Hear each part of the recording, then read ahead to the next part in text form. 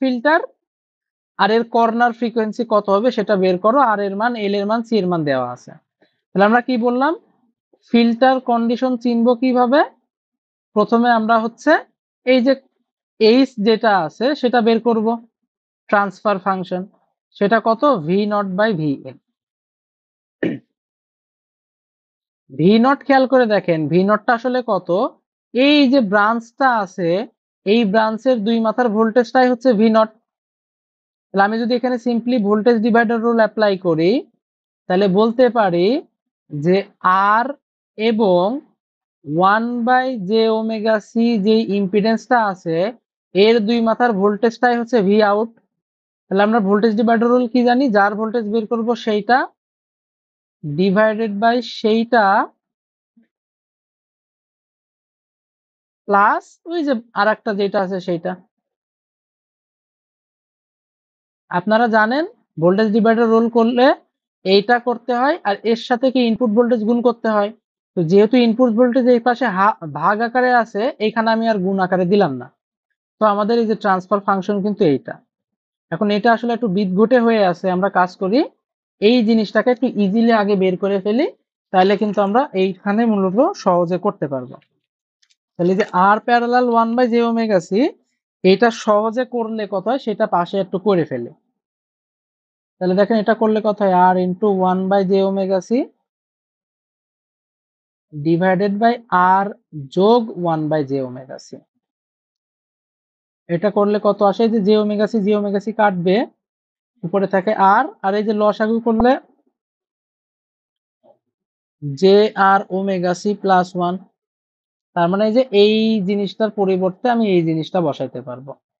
তাহলে এখন যে, এই সব ওমেগা সমান কত লেখা যায়?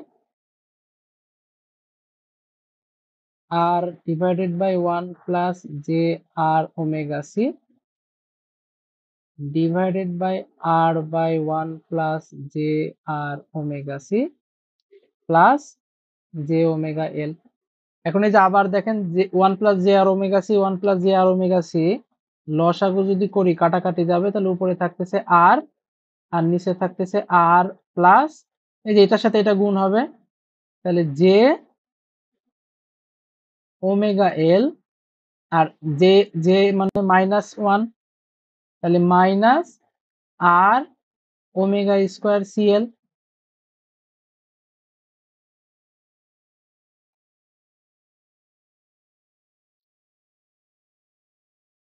এখন আমরা চাইলে কিন্তু আমাদের সেই জিনিসটা বসাইতে পারি। কেমন? কি বলছিলাম? যে আমরা প্রথমে এই সব জিরো বসাবো। তাহলে এই সমীকরণে যদি ওমেগার জায়গায় জিরো বসাই দিই, তাহলে কত আসে খেয়াল করেন? উপরে থাকে আর এইটা জিরো এইটা জিরো নিচে থাকে আর তার মানে কত চলে আসছে? ওয়ান চলে আসছে। এইটা দেখে কিন্তু আর অফ ইনফাইনাইট করার কোনো দরকারও পড়তেছে না। আমি দেখার সাথে সাথে বলে দিতে পারি, এটা একটা লো পাস ফিল্টার তাহলে ডিসিশন পাইলাম। যদি প্রশ্নে চাই যে শুধু দেখাও যে লো পাস ফিল্টার নাকি হাই পাস ফিল্টার তাহলে কিন্তু এতটুকু করলেই অ্যান্সার শেষ। নর্মালি আসলে জব এক্সামে খুব বড় হয়তো নাও দিতে পারে। হয়তো শুধু ডিসিশন যেমন মেবি বিসিআইসি তে এরকম একটা কোশ্চেন আসছিল, একটা সার্কিট দিয়ে বলছিল যে, শুধু এখানে কোশ্চেন চাইছিল যে এই সার্কিটটা এই ফাংশন দিয়ে দেখাও যে লো পাস ফিল্টার নাকি হাই পাস ফিল্টার ওইখানে আর কোনো কর্নার ফ্রিকোয়েন্সি কিছু চাই না তার মানে শুধু এতটুকু দেখাইলেই কিন্তু আমাদের ওকে কিন্তু যদি আমাদের কর্নার ফ্রিকোয়েন্সি চাই, যেমন যে এখানে চাইছে, তাহলে কিন্তু আমাদের একটু ক্যালকুলেশন করা লাগবে। থেকে করা লাগবে যে এই সব ওমেগার থেকে কিন্তু আমাদের ক্যালকুলেশন আগাইতে হবে। তো কিছুক্ষণ আগে কি দেখলাম? যে কর্নার ফ্রিকোয়েন্সি বের করব কোন কন্ডিশন থেকে? কন্ডিশন হচ্ছে এইরকম যে এই সব ওমেগা নট এইটা সমান হবে হচ্ছে ওয়ান বাই রুট টু এই সব জিরো। এই সব জিরোর মান তো ওয়ান আসছে সো এইটা তো আর ঝামেলা নাই। এই সব ওমেগা নট মানে এই সব ওমেগাতে যেখানে যেখানে ওমেগা আছে, সেখানে সেখানে এখন আমি ওমেগা নট বসাই দিব। এবং সেটার সমান কত হবে? One by root two. তো বসাই দেন। বসাইলে কত উপরে থাকে আর, নিচে থাকে R plus j into omega L minus ও না না না যে তো শুধু একজনের সাথে আছে।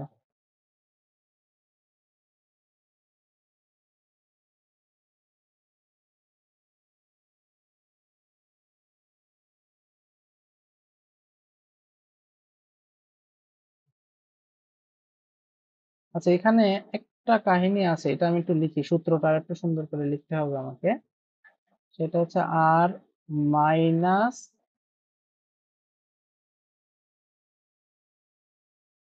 R omega square C L plus j omega L আচ্ছা এইখানে মূলত সূত্রটা হচ্ছে আমাদের এই মান নিয়ে হ্যাঁ? এই মানটা দিতে হবে। আমাদের শুধু বসালেই হবে না, এটার মান বের করতে হবে, অর্থাৎ এর মডুলাস বের করা লাগবে। যেহেতু এইসব জিরো আসলে মানই আসে, এটা না লিখলেও চলে বাট এইটার আসলে মান নিতে হবে।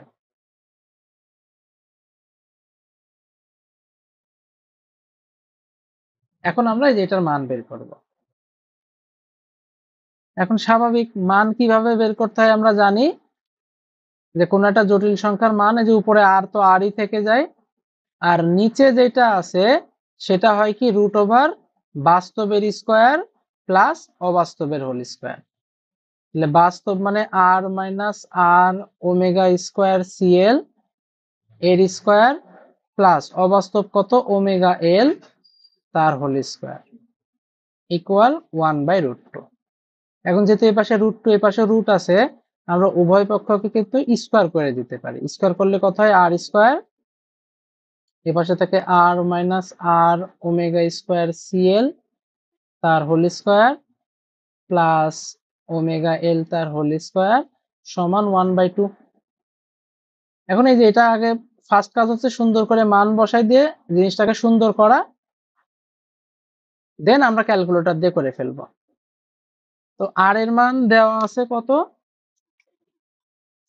আচ্ছা, আমি বই দেখে এই করতেছি আপনারা যখন করবেন তখন তুলে নিয়ে করবেন আমাদের কোশ্চেনে আর এর মান দিয়ে দিছিল হচ্ছে দুই কিলো ওহম, তার মানে আর হচ্ছে দুই হাজার। আর এইটা এর আমি একবারে করি, তাহলে দুই হাজার মাইনাস এটা একটু একবারে করি, নাহলে ঝামেলা হবে।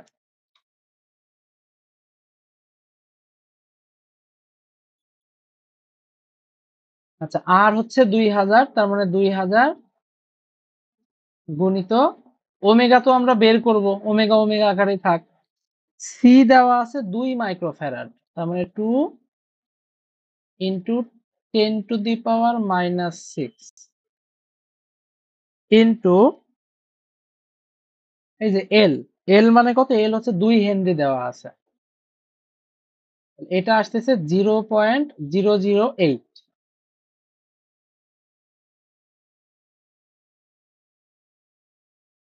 হ্যাঁ ঠিক আছে।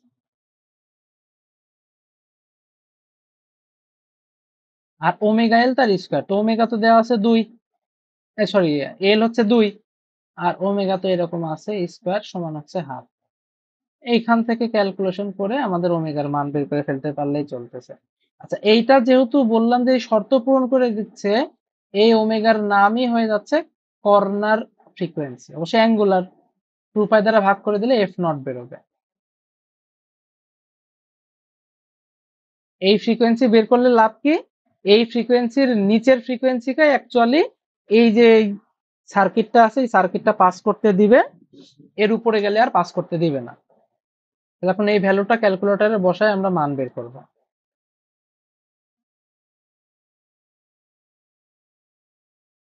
কমপ্লেক্স থেকে আগে নর্মালে নিয়ে যান। দেন দুই হাজারের স্কোয়ার ডিভাইডেড বাই দুই হাজার minus point zero zero eight x square তার উপরে স্কোয়ার প্লাস এটা হচ্ছে four x square four x square সমান one by two shift calculation দিয়ে সমান চাপেন এটা মেবি বড় মান, এই জন্য ছোট মান দেওয়া হয়েছে তো।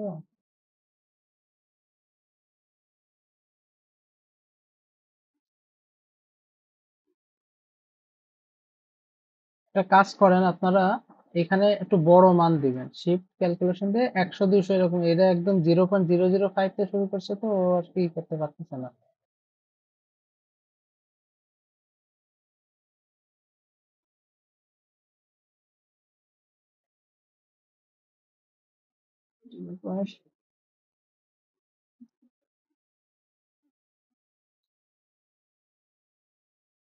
হুম, এখন। একটু বড় সংখ্যা দিয়ে দেবেন, তাহলে মোটামুটি করতে পারবে। কত? সাতশো বিয়াল্লিশ দশমিক দুই পাঁচ চার।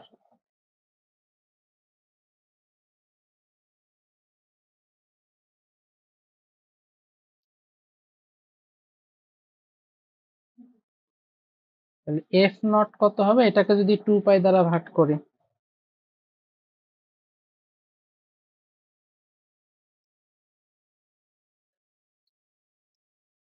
একশো আঠারো দশমিক এক তিন তিন।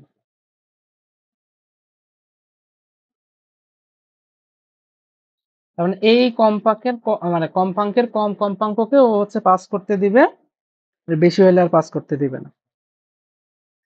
এই মোটামুটি আমাদের লো পাস ফিল্টারের যে কনসেপ্ট আমি আর একটা কোশ্চেন দিচ্ছি, এটা আপনারা নিজেরা একটু ট্রাই করেন। এটা হচ্ছে আপনার সাদিকুর প্র্যাকটিস প্রবলেম সম্ভবত চোদ্দ দশমিক দশ।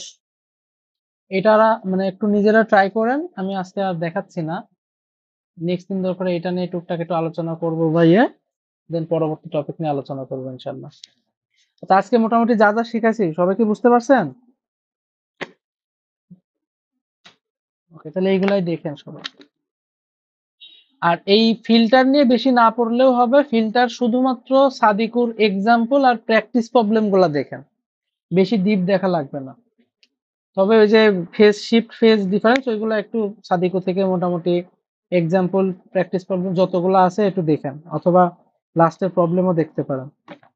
ফিল্টার বেশি দেখা লাগবে না। আচ্ছা তাহলে আজকে মোটামুটি এই পর্যন্ত